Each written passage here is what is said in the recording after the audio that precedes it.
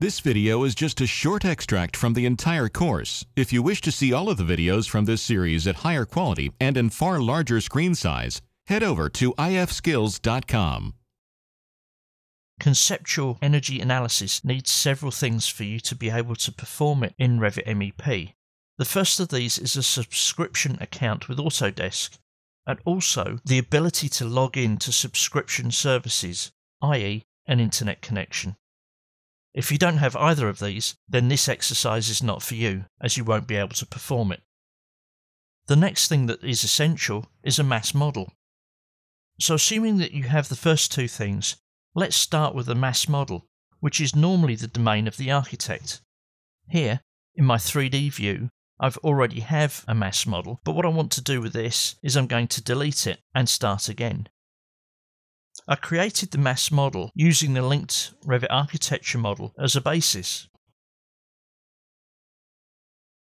Let's take a look at how that's done.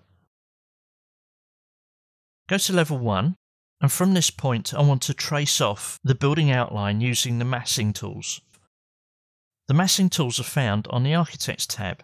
This is one of the rare occasions where I'll actually recommend using in-place objects as we're working on a building form here.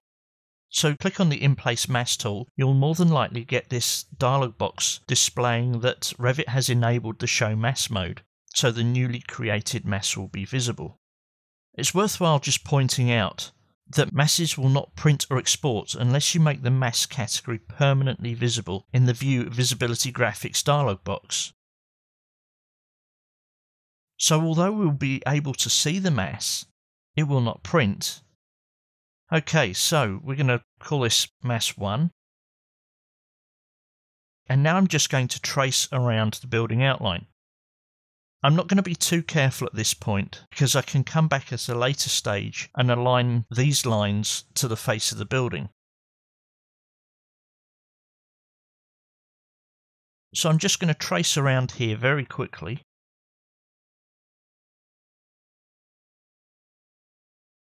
And you can see here fairly untidily. But as I said, we can come back and tidy this up as much as we want to. The whole idea behind the energy analysis is we're doing this at a very early stage of the project.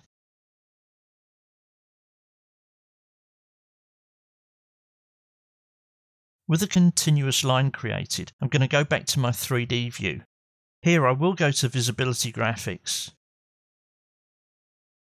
and uncheck the architectural model so that you can see the building outline.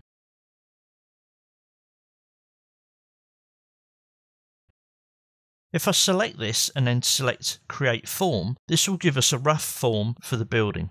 Let's stick Visibility Graphics back on so that we can actually see the architectural model.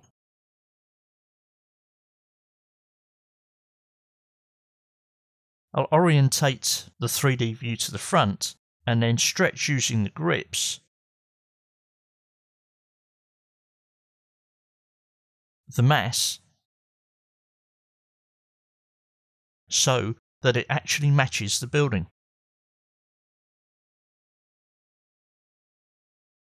And then finish the mass. Now, let's go back to Visibility Graphics and turn off the linked Revit architectural model.